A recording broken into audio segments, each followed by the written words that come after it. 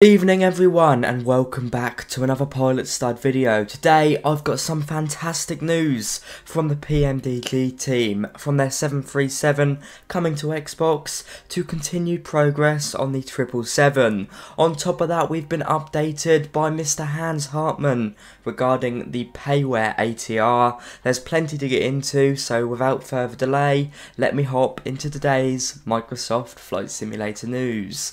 We're going to kick it off with news news from the PMDG team. Yesterday, which at the time of filming was the 22nd of March, Mr. Robert Randazzo updated us all on various parts of PMDG's work on Microsoft Flight Simulator.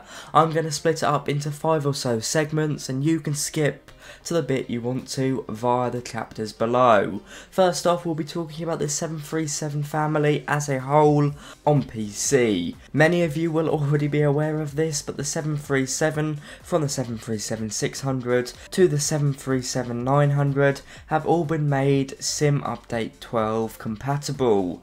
Despite some issues with beta, there were some issues with parking brakes. The PMDG team have been very busy and basically ensured fantastic continuity with the 737 on Microsoft Flight Simulator. I would expect nothing less from the PMDG team. Now we move over to the big news. Of course, the main feature of Sim Update 12 on Xbox was the introduction of WASM support. The WebAssembly module, which is what WASM stands for, should allow more complex add-ons onto Microsoft Flight Simulator's second platform, the wonderful Xbox. PMDG have always been very clear. They want they want their 737 on Xbox and they've already started making the preparations to move it over. Now we do get a fascinating insight into PMDG's plans with Xbox, so let me pop it up on the screen and talk about the major points. First off, as it says, as they say on the second paragraph, PMDG have no experience with the Xbox process for obvious reasons and therefore it's not going to be an instantaneous release. I said this on the other day's video, developers are not going to be able to simply port over their product straight to Xbox and release it for everyone to try. There has to be, uh, and to quote PMDG here, there has to be a test and validation process. They're also thinking about the future. They're thinking about the introduction of the EFB, the Universal Flight Tablet, and nav data or AIRAC updates in the future.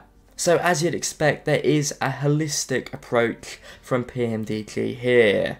They do expect to take some time with this process, so they offer no release date but it's definitely not going to be tomorrow. In my opinion, I imagine this will be a month or two. PMDG are going to make every effort to get this out as soon as possible, but they are limited to the fact that this is a completely new platform for them and they want to get it right. They don't want to dumb this down at all. They want the 737 on Xbox to be virtually the same as the 737 on PC. Finally, we're going to be talking about the EFB and the 777. Kicking it off with the EFB, progress here is still a bit blurry in my opinion. PMDG do say that they are beginning to experience a slight bit of joy with respect to progress on the EFB. Of course, there has been months of delays and issues with the EFB. It has definitely been a bigger project than PMDG and of course we all thought it would be. So still some delays here and of course they are hesitant to give us any certain release date or release timeline, but it is a priority for them. It seems that Sim Update 12 and all this stuff regarding WASM has allowed PMDG to, to trundle on at a slightly better pace. But still no screenshots or videos of the bad boy in action. I guess we'll have to wait and see. And finally, with the 777, they do say that development work on the 777 is sailing along at a great pace. That is a direct quote. And while they don't offer any screenshots or videos of the 777 just yet, they do say that they are really pleased with how this project is coming along and they cannot wait to share more information regarding the 777. I know so many of you are looking forward to it. And of course, PMDG will be releasing the 777 for both PC PC and Xbox. Some wonderful news from the PMDG team, they've done an awesome job. You can read the full forum post via the link down below. Definitely one of my favourite development teams out there. Now we're going to swiftly move over to the ATR, the Asobo ATR to be exact. This is a payware project that will be released on April the 25th and it will feature the ATR 42600 and 72600. The lead developer here is Hans Hartmann who of course has got a team under his wing and the great help of Asobo and on the latest Microsoft Flight Simulator development stream, we get a fascinating insight into the avionics and systems side of this French-Italian regional turboprop airliner. You can find the stream linked down below and you want to head into about 1 hour and 5 minutes into the stream and you'll be treated to a wonderful 20 minute preview of the systems of the ATR. I have to say it is looking superb. You have to remember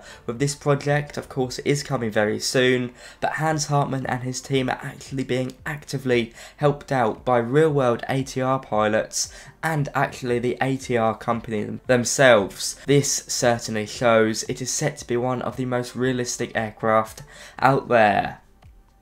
I would recommend you tune into the stream to learn more, but we take a good look into the avionics. Hans Hartmann especially shows off the multi-display panel and an ATR specific feature known as the virtual control panel. To quickly go through this, this is part of the user interface that is controlled by a physical panel just under the FMS. This display allows you to change things like your radios, that's both COM and navigation radios, as well as to control moving map features. I really like how consolidated it is within the ATR, it seems to be a really slick airliner.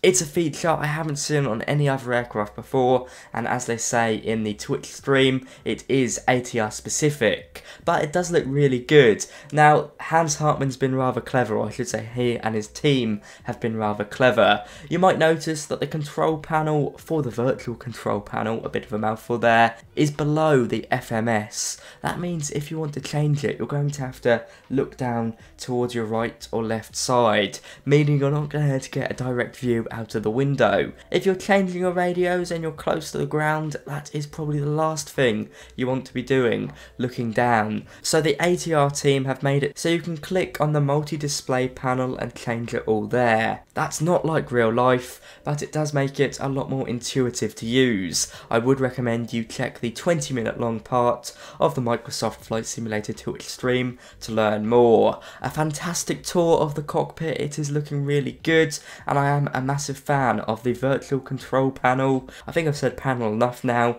but I'd also like to point out you can see synthetic vision turned on, and that does look really cool, although a bit pixelated. I personally am really excited for this aircraft. The ATR is being labelled as Expert Series 1, so it is going to be the first, quote, expert aircraft in Asobo series, and that to me means that Asobo are intending to go down into the future and release more high fidelity aircraft. I think that's a very exciting thing. It makes me, and I'm sure it makes you, very happy. This aircraft will be released on the 25th of April. It will be payware, no exact information on pricing yet, and it will be coming to both PC and Xbox. Something to get really excited for. On that note, thank you for watching. Have a great day. Be sure to like, comment, and subscribe if you enjoyed. I'll see you around. Bye bye.